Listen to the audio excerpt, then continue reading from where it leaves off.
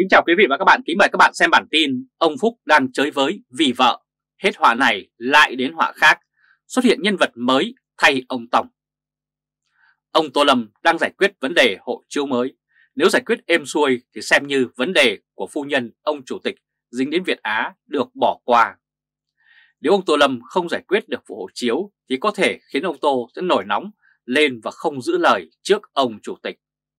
Ông Chủ tịch Phúc là một người làm chính trị cứng cỏi, chỉ cần xảy chân của đối thủ là ông biết lợi dụng ngay lập tức.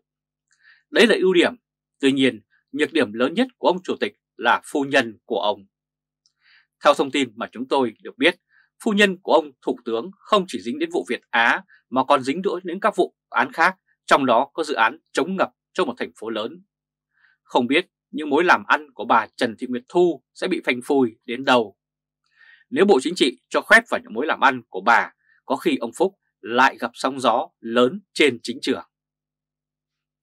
Đây là hình ảnh ông Nguyễn Xuân Phúc gặp nhiều vấn đề trên chính trường ở Việt Nam. Ông Tổng Trọng đã già, nhóm phía sau đang tranh đua để được chen vào vị trí ứng viên cho chiếc ghế quyền lực nhất của Đảng Cộng sản. Vì nóng lòng nên hiện nay nhóm người ở Bộ Chính trị có vị thế hàng thốp đang đòi hỏi ông Tổng phải sớm đưa ra người kế nhiệm. Ông Trọng có quyền giới thiệu và Bộ Chính trị cũng có quyền giới thiệu. Tuy nhiên, lời giới thiệu của ông Trọng có trọng lượng lặng nặng hơn rất nhiều. Cũng theo đánh giá ban đầu, ông Vương Đình Huệ là sáng giá nhất. Theo sau ông Huệ là ông Nguyễn Xuân Phúc và Phạm Minh Chính.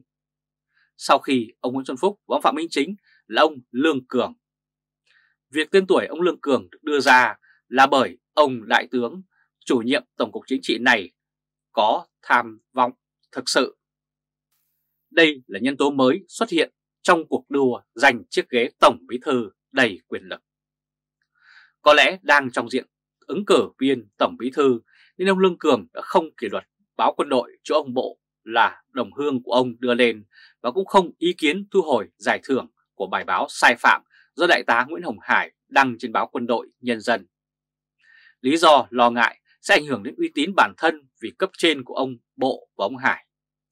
Bài báo của Đại tá Nguyễn Hồng Hải nội dung ca ngợi những người này thì nay đã vào tù vì vụ Việt Á. Tuy đã bị gỡ nhưng hai giải thưởng nhận được do bài báo này thì vẫn được công nhận, không bị thu hồi. Đây là sự chớ trêu của báo Quân đội Nhân dân. Đây là hình ảnh ông Lương Cường là nhân tố mới. Được biết từ năm 2011 cho đến năm 2013, ông Lương Cường được học lớp đào tạo lãnh đạo cấp cao ở bên Trung Quốc. Đến nay, vấn đề Việt Á nhập sinh phẩm ở đâu, sản xuất kit xét nghiệm ở đâu vẫn đang bị bưng bít. Chỉ có hai khả năng là nhập sinh phẩm của Trung Quốc, sản xuất của Trung Quốc hoặc sản xuất trong cơ sở của quân đội Việt Nam. Nếu không hai có nơi này thì chắc chắn việc sản xuất ở đâu đó đã được công bố. Dường như vì lo sợ ông Lương Cường sẽ làm tổng bí thư, nên nhiều đồng nghiệp của đại tá Nguyễn Hồng Hải rất bức xúc chuyện Hải không bị thu hồi giải thưởng nhưng không dám có ý kiến gì. Có thể nói ông Lương Cường hiện giờ đi nhẹ nói khẽ để không bị lò của ông Trọng chạm vào. Tiếp theo là ông Chủ tịch Nguyễn Xuân Phúc. Ông Phúc từng bị sóng gió trong vụ Việt Á đe dọa vị trí Chủ tịch nước. Tuy ông dẹp êm vụ này nhưng rất có thể vợ ông sẽ bị khui ra vụ khác. Vụ mới này liệu có đổ bể hay không thì còn phải chờ. Việc giữ ghế đến hết nhiệm kỳ của ông Phúc đang gặp thử thách hết sức nghiêm trọng. Ông Thủ tướng cũng đang gặp vấn đề với chiếc ghế của mình. Tuy mạnh nhưng uy tín trong đảng và với xã hội đã giảm sút nghiêm trọng. Ông Thủ tướng thì có đường lùi, nếu không giành chiếc ghế Tổng Bí Thư thì giữ ghế Thủ tướng vẫn là phương án không tồi chút nào. Đây là hình ảnh ông Vương Đình Huệ đang có lợi thế nhất. Còn lại ông Vương Đình Huệ, ông Huệ được cho là sạch nhất trong nhóm ứng viên với ông Huệ được ông Tổng đỡ đầu. Ông Huệ hiện nay có hai cửa thăng tiến.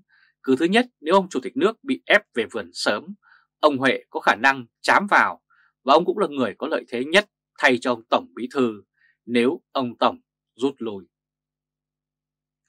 Kính chào quý vị và các bạn, kính mời các bạn xem bản tin Móc đường dây cấu kết của Phó Thủ tướng Lê Văn Thành coi chừng lại nhào đầu như tất thành cang. Công ty Phúc Lộc làm mưa làm gió tại Hải Phòng, nhiều quan chức đã bị kỷ luật nếu có hành vi tương tự cho vụ giao 11,8 hecta đất cho Phúc Lộc, như ông Bí thư Lê Văn Thành, Chủ tịch Nguyễn Văn Tùng vẫn không hề hấn gì.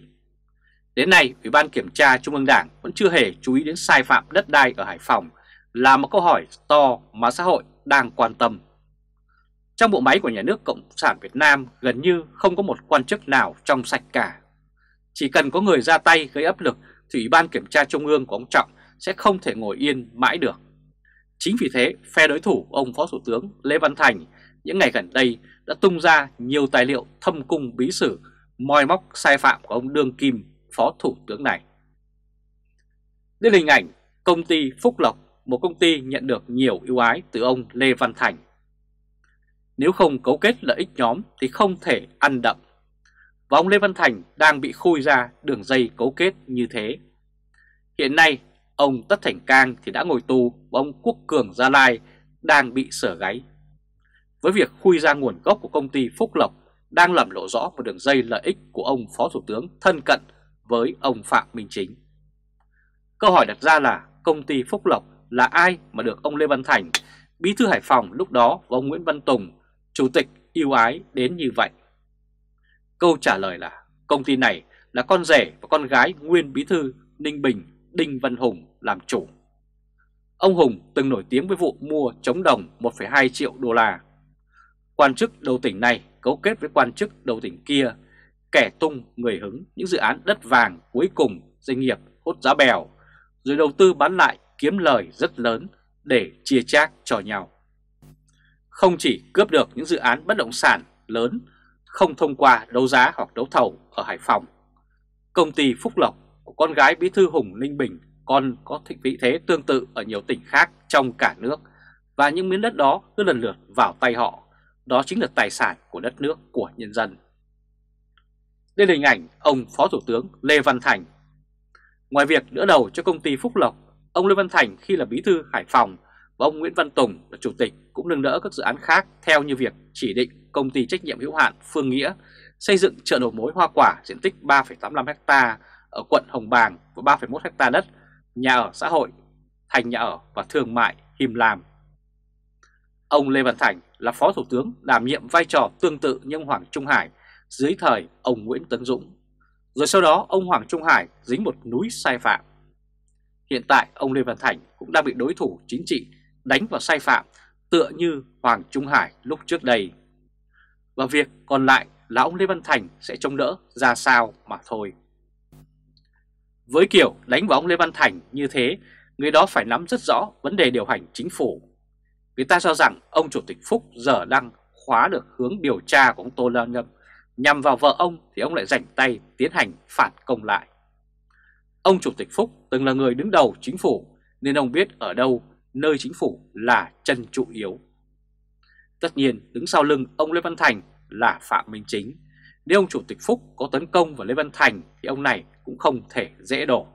Với ông Thành có hệ thống bảo vệ từ thời ông còn làm bí thư thành ủy, thành phố Hải Phòng. Và việc trở cờ tấn công lại phe chính phủ cho thấy ông Chủ tịch nước đang hồi sức sau vụ Việt Á mà thôi, chứ chưa có dấu hiệu nào cho thấy ông Chủ tịch Phúc sẽ thắng cả. Đây là hình ảnh ông Nguyễn Xuân Phúc. Hiện nay các bên vẫn tuần tài liệu chuyện thâm cung ra ngoài xã hội để chiến đấu với nhau. Khi áp lực xã hội đủ lớn thì dù muốn hay không, Ủy ban Kiểm tra Trung ương sẽ vào cuộc. Cho nên phe ông Chủ tịch đang thu thập tài liệu rất chi tiết về sai phạm của ông Lê Văn Thành mà tấn công. Như thế dư luận xã hội có bùng phát mạnh hay không? Nếu bùng phát mạnh thì rất có thể sự nghiệp chính trị của ông Lê Văn Thành cũng ngã nhào như tất thành cang. Lúc đó lại có phim hay để người Việt Nam trong và ngoài nước cùng được xem.